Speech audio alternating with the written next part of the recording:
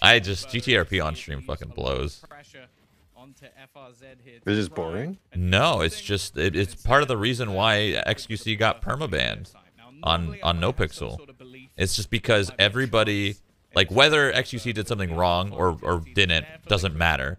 The main point is he has so many viewers that everybody's gonna everyone's gonna it, there's just a bunch of fucking leeches, all of them, and they're just stuck to the person and they'll do anything and everything to get any form of clout, any form of reaction, and that's just annoying as shit.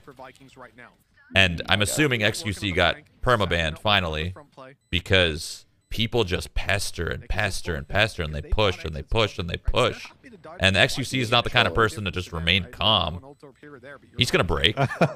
Yeah, He's fucked got- up. They troll him for the They literally push him to his limit, and then he freaks out, and then they expect like, like what do they expect?